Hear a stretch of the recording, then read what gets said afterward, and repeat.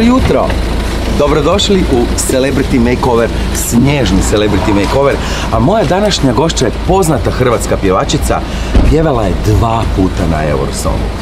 Neda Parmač, Nedo, di si? Kako sam sretna! Je. Što ćeš mi dati toliko poklona? Baš mi je drago da si mi u emisiji nakon dugo vremena. Sedam prošlo, godina. Prošlo je sedam godina, a ti si sve mlađa. Dobro, nećemo se lagati sad Boris. Ne, izgledaš fantastično. Pa krenimo u avanturu Celebrity Makeovera. Idemo!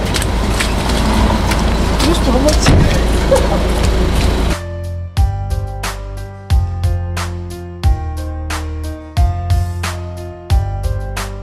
Boris! Još jednom dobro jutro, draga Nedo. Jako mi je drago što si mi ponovo gošća. Rekli smo evo malo prije da si mi bila pred šest godina. U tih šest godina dogodile su se nevjerojatne stvari.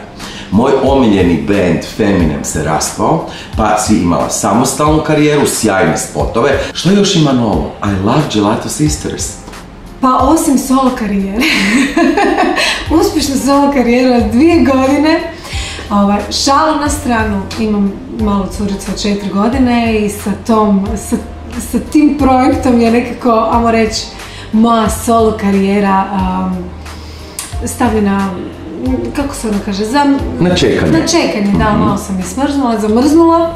Ovaj, u međuvremenu Seka mi se javila sa idejom da s njom gradim jedan projekt u kojem stvarno jako uživam, to je Gelato Sisters, koji mi isto tako ostavlja puno vremena za sve što želim. Pa Mala Adriana je wunderkind. Evo ja gledam e, sve kako ona pjeva u autu, kako je spontana.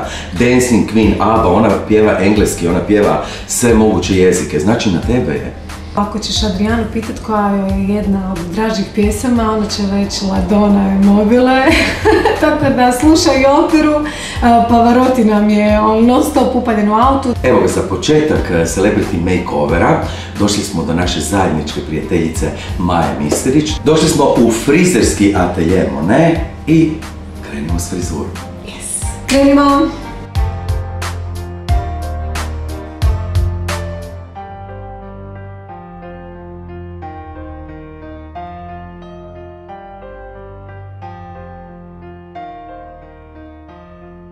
Maja Misterić, e, poznata hrvatska stilistica za kosu, moja draga prijateljica. Dobro ti jutro, izgledaš predivno. Boris, hvala ti na komplimenta, od uvijek si bio gentleman. Evo ga, nalazimo se u tvom sprizirskom studiju. Koliko dugo ti trpiš ovu prekrasnu pjevačicu? Ovu prekrasnu pjevačicu, pa ne bih ja rekla trpimo, nego se družimo. Jo, nisam ni brojila, ne da ima tu već 15 godina sigurno. Deseta godina je bila plava, a onda je počela njena transformacija zahvaljujući tebi. Da, u pravu si. Ali moram priznat da je malo lutala i jednom se dogodio klik kad je ona rekla ne, ja želim biti naranđasta. U rukama vrhunskog stručnjaka, to mora biti tako. Šta si Majo danas osmislila za Celebrity Makeover? S obzirom na stil, novonastali stil pjevanja, ne, da je u Gelato Sisters, radit ćemo pin-up. A sada pogledajmo izradu prave pin-up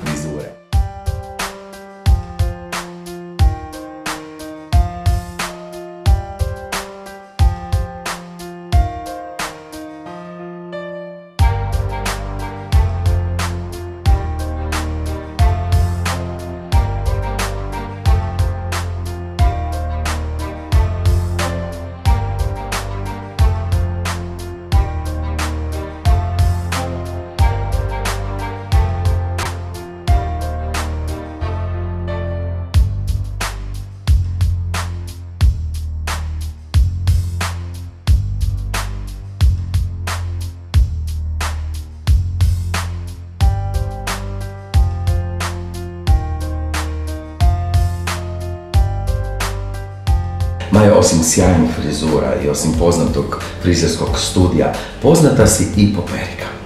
Da, to je novi element u frizerstvu, odnosno u mom frizerskom salonu. E, vrlo sam radosna jer sada dolazi vrijeme perika. Znači kada neko poželi da ima frizuru, da bude drugačiji, a ne mora promijeniti ovaj, ni boju kose, ni dužinu, da neki event, kupiš periku, staviš je na glavu i drugačije. Radi se o jednoj sjajnoj verziji od prirodne kose. Je, imamo prirodne kose, a imamo perika i miješana, prirodna i umjetna kosa, i, odnosno sintetika i ima sintetičnih. S obzirom da mi kao salon držimo perike, ja sam isključivo išla da te perike budu modne, da one ne izgledaju na glavama kao kape. Znači imamo perike koje imaju i ombre pramenove i općenito pramenove, više boja, nijansa, e, stil šišanja prema trendu. Dakle, zaista izgledaju vrlo prirodno, neovisno da li je prirodna kosa ili je miješana sintetika prirodna. Ja te molim da isprobam jednu periku, pa pogledajte kako ja izgledam u sljedećem kadru.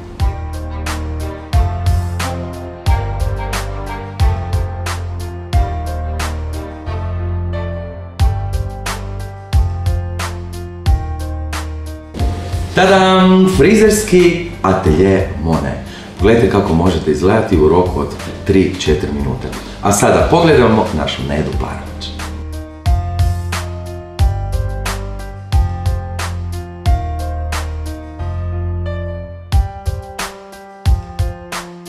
I frizura je si zadovoljna?